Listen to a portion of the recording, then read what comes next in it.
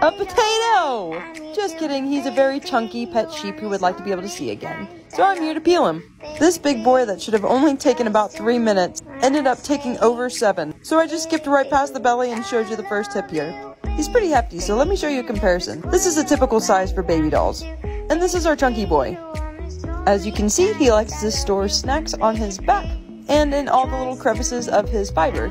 So I work really diligently to make sure I clean all of that up so it doesn't give him any issues. The discoloration on his back is from all that dirt itching and him neurotically scratching.